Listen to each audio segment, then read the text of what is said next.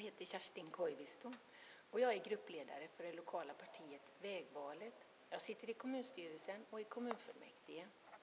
För några år sedan så sa jag till några kompisar eh, när vi skulle gå en datautbildning på skolan. Steg ett i det här med datorer, det måste ju vara att lära sig att krama en dator. Den är inte farlig.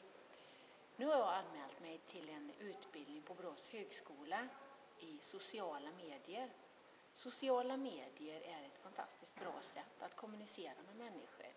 Att, ett utbyte av erfarenheter och eh, idéer. Eh, helt enkelt att träffa människor som man kanske inte annars skulle träffa i de sammanhang där man rör sig. Och du behöver inte ens kamma dig. Hoppas vi ses den 10 maj.